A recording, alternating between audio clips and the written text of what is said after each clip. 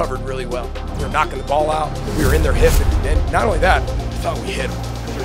Anthony Smith drags him down. Jack Henderson gets up for the sack. Caught a ball. How many times did the kid go, you know, head over heels?